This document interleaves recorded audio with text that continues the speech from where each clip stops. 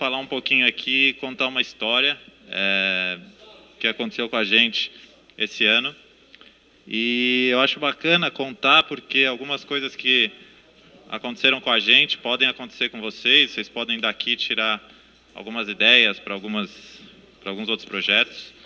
É, então a ideia é a gente contar mesmo aí do início ao fim com o WordPress o que, que a gente passou. Meu nome é Rafael Fabeni, eu sou desenvolvedor. Trabalho com internet há uns 5 anos. Trabalho há uns 3 com front. É, antes eu mexia com parte de infografia e tal. É, trabalho no time de design da 2 Comunicação. Quem gosta de front aí, eu organizo um meetup de CSS. Tem o, os links aí, quem quiser me procurar depois. A gente tem um encontro agora em novembro.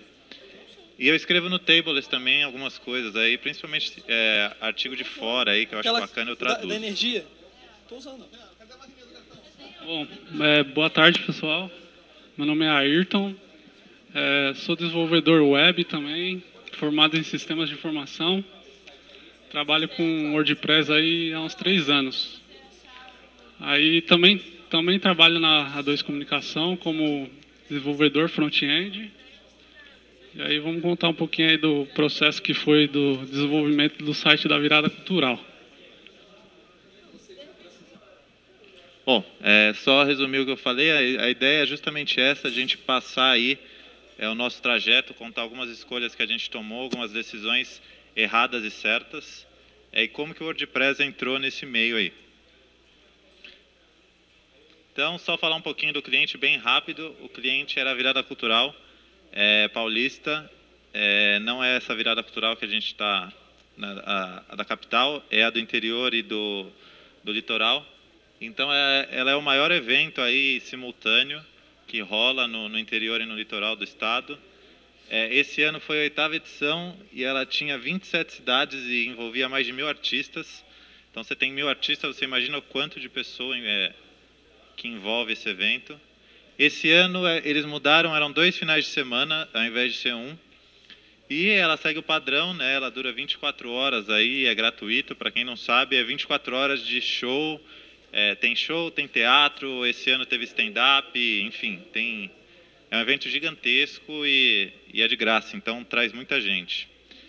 Vou mostrar rapidinho só quem estava nessa equipe aí no, no, projeto. A gente tinha cinco pessoas. É, à direita aí é o nosso filho aí que saiu. É, então a gente teve o Ayrton, que comandou a parte do front-end e a lógica do WordPress. É, teve a Camila, que foi a responsável de segurar a bucha lá com o cliente. O Marco, que seria bacana estar aqui, mas ele não pôde vir, é o nosso Head Innovation lá da, da empresa. Ele que nos ajudou em algumas coisas que não estavam no nosso escopo, aí, hospedagem, algumas coisas a mais. Eu, que dei um suporte para o Ayrton, principalmente na parte de front. E o Rodrigo Teixeira, que também ele está melhor que a gente, ele está viajando, está em Nova York, está de férias. E ele foi praticamente o líder do projeto aí, desde a primeira reunião que, que aconteceu até a entrega do projeto. Então, alguns desafios que a gente viu logo de cara aí para pegar um projeto desse tamanho, um projeto que para a gente era diferente. Uh, primeiro, primeira coisa era levantar é, os acessos das versões que já estavam no ar, né, das versões antigas é, definir suporte de navegador, definir hospedagem, saber o que, que a gente usar, enfim, para que melhor atendesse, atendesse aí o que já estava publicado. Conteúdo. Aqui é, já tinham versões do site no ar, e a ideia, né, a nossa necessidade era que principalmente as fotos dessas versões antigas estivessem também no, na versão atual. Né? Isso não foi a gente que escolheu, isso foi praticamente imposto para a gente. E você pegar, às vezes, um projeto WordPress, que seja, qualquer coisa que não foi seu, não foi da sua equipe, por mais padronizado que seja, às vezes você demora um tempo, né, você entender toda a lógica da coisa, entender a estrutura.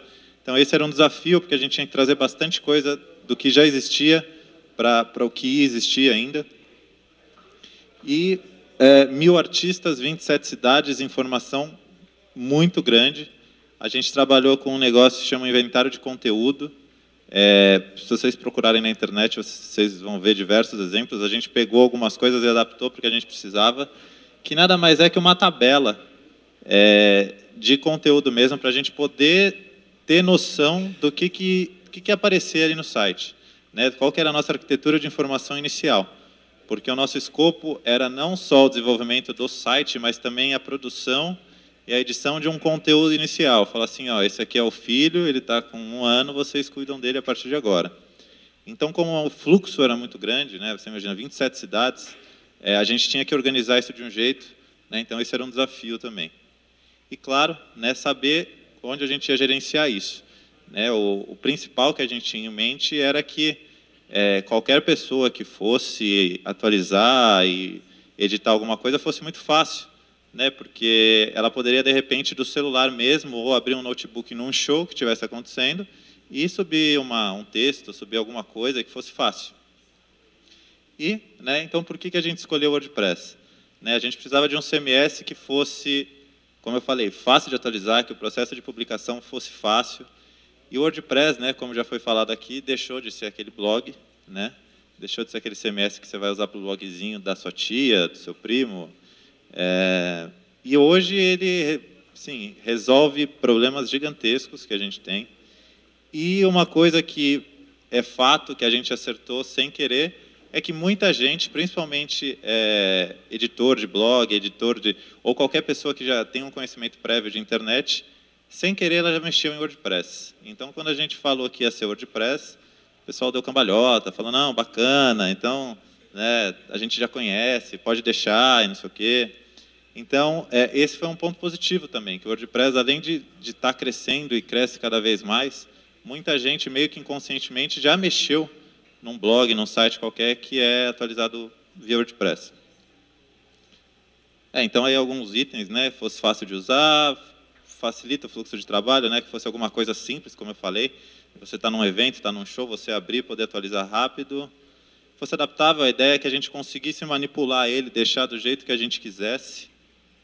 E uma coisa que foi falada aqui, para esse time, é, para desenvolver, a gente tinha eu e o Ayrton e o Marco só, que é um, ele praticamente não mexeu em código. E o WordPress ele possibilita isso, ele possibilita que pessoas que não tenham um conhecimento de back-end tão profundo é, consigam resolver os problemas que elas, que elas têm que resolver. Né? Então, foi por isso que a gente escolheu o WordPress.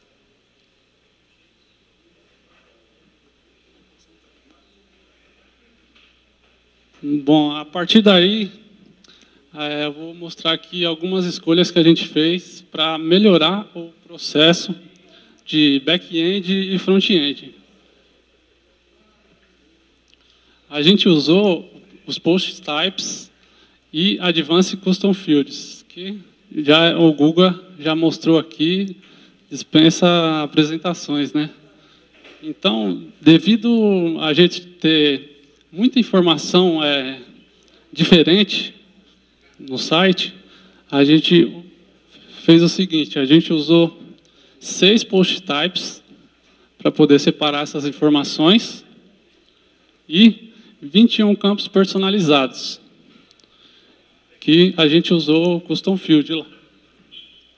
Então, a gente criou os post types, cidades, locais, artistas, eventos, release e fotos. Seis post types. Imagina criar isso sem, sem usar um plugin, alguma coisa, o trabalho seria ser muito grande. Dentro de cidades, ele teria todos esses campos aí. Nome da cidade, descrição. Isso já vem, né? O nome da cidade seria o título do post, descrição, content. Foto, a gente criou um, um campo novo. PDF, ele também fazia um upload de um PDF com a programação completa e inseria na, na cidade. E os logos da cidade também para mostrar quando a pessoa entrasse em cidades.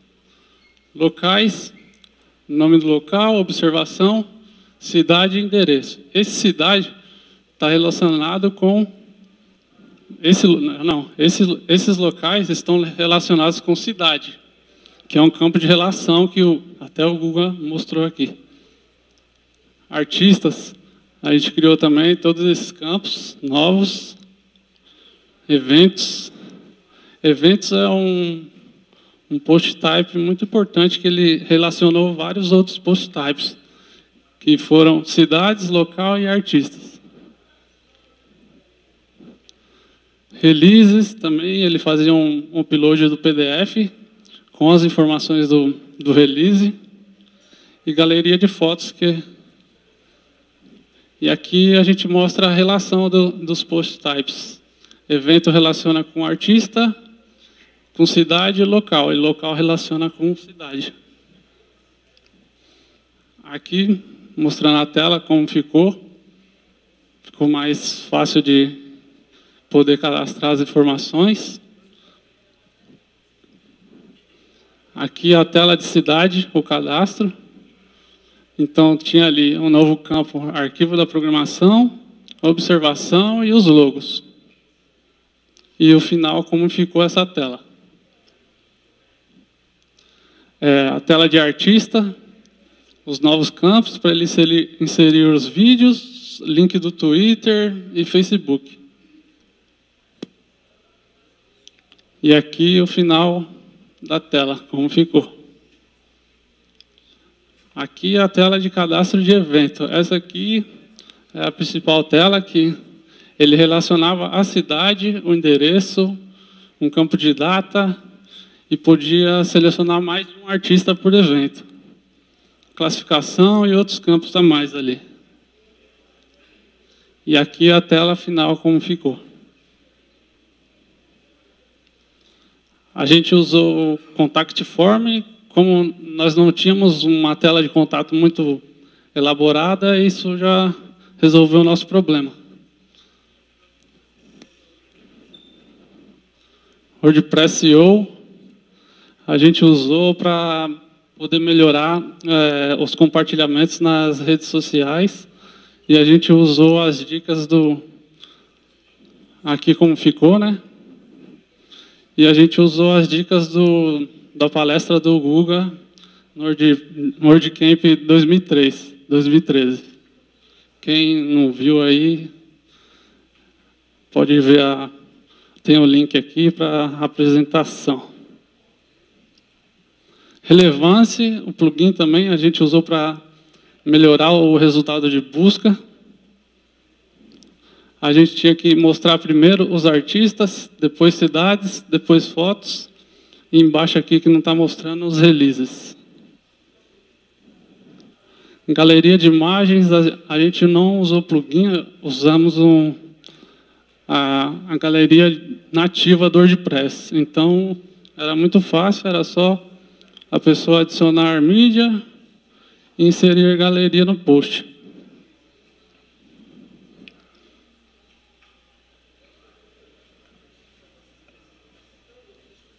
Bom, falando de hospedagem, é, foi acho que onde a gente teve mais problema aí, porque esse foi, era um projeto atípico para a gente, é, porque a gente tinha dois é, picos de acesso, é, que seriam os dois finais de semana do evento. A estimativa era de 20 a 25 mil acessos nesse final de semana. Então a gente tinha o, o começo antes do final de semana, chegava no pico, aí você tinha uma semana que era bem compartilhada, uma semana que todo mundo estava falando do evento, aí você tinha o outro pico do final de semana e aí que ele ia caindo.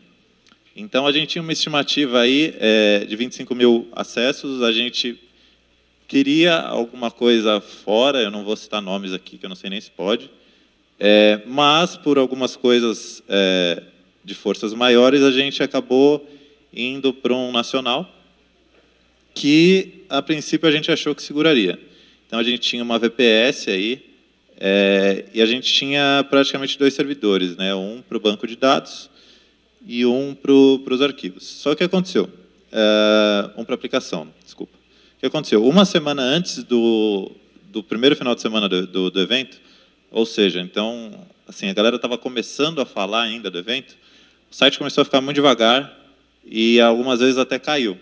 O que a gente foi ver foi que o nosso site, como já tinha sido lançado, ele está um pouco melhor ranqueado que o da virada cultural paulista. Então, todo o pessoal do estado de São Paulo que procurava o evento da capital acabava caindo no nosso, porque era o primeiro ali que aparecia no Google. Então, o resultado disso foi que uma semana antes do, site, da, do, do lançamento do, do, evento, o site caiu. Né? Vocês imaginam a loucura disso. Não foi feio assim, né? Mas, é, mas ele caiu. E aí foi aquele, aquela correria, a gente voltou para a nossa primeira ideia, né? A gente convenceu o cliente de que a gente não tinha como segurar isso daqui agora, ia ter que ir para fora. É, então, aí também não vou citar nome, a gente mudou uh, ah, para fora. Uh, e o que a gente pôde tirar de lição nisso, né? Eu tive uma aula com o Marco, que foi que cuidou de toda essa parte, foi que o WordPress dá para ser configurado num ambiente elástico, né? Ele te dá coisas conforme você o acesso vai aumentando. Então a gente tinha um repositório de arquivos é, separado do, do, processamento, né? Do, do, diferente de onde estão os arquivos hospedados no, do WordPress.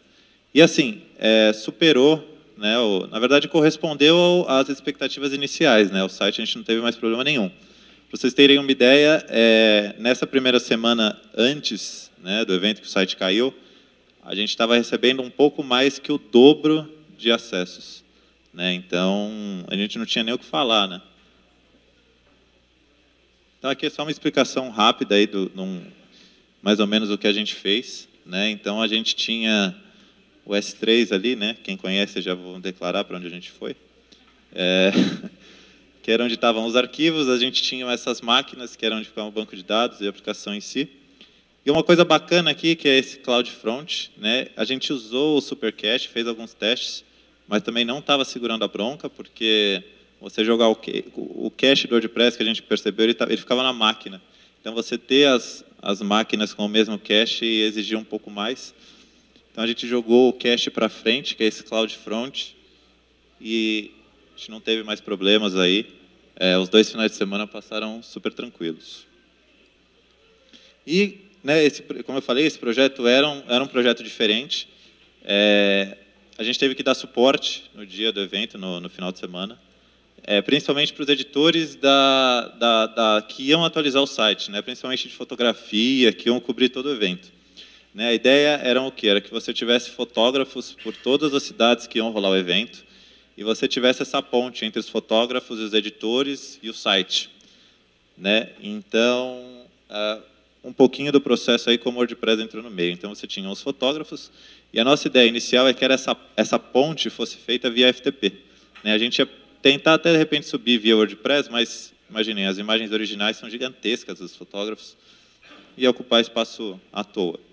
E a gente fez alguns testes e teoricamente rolou bem, né? A gente treinou os fotógrafos, escolheu um, uma padronização, né, de, de nomenclatura, como vai ser separado isso, porque é muita foto, né? 27 cidades, cada cidade tiver 10 eventos, imagina o que vai ter de foto, né? Então, nossa primeira ideia era o FTP, né? Eles tiveram os treinamentos, padronização e tudo mais mas não rolou. Né? É, mais gente do que a gente esperava acessou o FTP, é, não só fotógrafo, mas assessores e editores, e você não podia que um fotógrafo que estivesse mandando foto, a foto, a conexão caísse, né? A pessoa quer entrar lá e quer ver a foto que está rolando, então a gente não podia perder esse tempo. E o que a gente rolou na, assim, na correria do dia a dia da hora foi que a gente voltou para a solução mais básica, vai ser e-mail, né? Então, o fotógrafo fazia uma, uma pré-seleção aí das fotos. Né? Não sei se alguém conhece esse Lightroom aqui, a gente integrou ele com o WordPress. Esse Lightroom é um, um programa da Adobe, é um software da Adobe. Então, os fotógrafos tiravam as fotos nos eventos, abriam um Note, passavam é, as fotos no Lightroom. Esse Lightroom você consegue editar os metadados da foto. Então, pela padronização que a gente fez no treinamento, eles aplicavam essa padronização aqui né? E aí mandavam para o pessoal de edição da, da foto. Esse pessoal passa, escolhia né, as fotos, né, fazia aquela curadoria do que ia entrar no site, né, passavam no Photoshop e subiam via WordPress, como o Ayrton falou, na galeria nativa. Quando ele fazia isso, é, a, WordPress pegava automaticamente já todos esses metadados aí que os fotógrafos tinham inserido do Lightroom. Então, qualquer coisa que tivesse aqui fora do padrão, é, lógico, o editor iria arrumar isso, mas não era responsabilidade do editor. Né? A gente transferiu essa responsabilidade para o fotógrafo, né? e aí o, o, processo do editor era simplesmente escolher essas fotos e subir. Ele não ia ter que nem que escrever. E claro, para fechar os resultados aí, é, como eu falei, hospedagem né? Foi acho que o nosso principal ponto aí que a gente sofreu um pouco. Mas alguns números, então, no primeiro final de semana foi mais ou menos a, a estimativa que a gente tinha. A gente teve 23 mil visitas aí, 23.700. Uh, no segundo final de semana já caiu um pouco, volta a 19 mil. É, na semana aí, que é entre o primeiro e o segundo final de semana, que o pessoal estava falando bastante do evento, 50 mil visitas, uma média se for pegar cinco dias, uma média de 10 mil visitas por dia aí, segunda e sexta. Esse é um negócio bacana, se for ver 36%, ainda não é tanto, mas se você for ver se você está aqui, você quer acessar o site do WordCamp, você vai olhar no seu celular, né? ou de repente quem é pouca gente está com Note, mas imagina você está vendo um show, você não vai abrir o seu Note lá, não, deixa eu ver aqui o que, que vai rolar. Né? Então a gente teve que ter uma preocupação com isso, porque a gente imaginou né, que a maioria das pessoas que tivessem já no evento iriam abrir o celular. E 47% aí para fechar o número, é, a gente conseguiu atrair de busca orgânica. E é isso, gente. A ideia era contar um pouco do processo aí da, falando assim parece que foi fácil, mas a gente suou bastante. E era isso. É, eu, eu, vi que vocês utilizaram ali o, o ACF, Advanced é, Custom Fields, para permitir a inserção de fotos no, no que era cadastrado na, nos artistas né, e tudo mais. E no final vocês falaram sobre esses dados terem ido para o S3. É, essas fotos que eram cadastradas como, como a, a Advanced Custom Fields também foram uh, levadas para lá ou ficava dentro dos servidores de aplicação mesmo? Vocês conseguiram alguma coisa para fazer esse envio automático? Bom, é, assim, a gente já tinha um conteúdo inicial já depois que o site caiu. É, mas assim, a, é, eu vou falar o que eu sei, tá? Que quem foi responsável por toda essa parte foi o Marco pelo que eu acompanhei, é, não teve problema nenhum.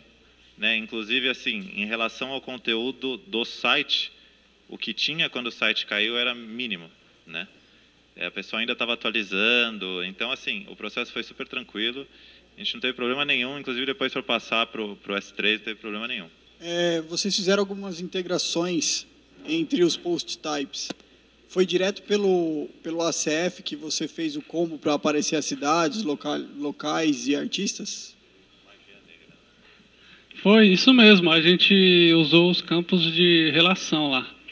Então a gente listava os posts de cidade, de artista, e foi isso. A gente só criou um campo novo lá e adicionou no post type eventos. E ele selecionava qual a cidade e o artista ele queria.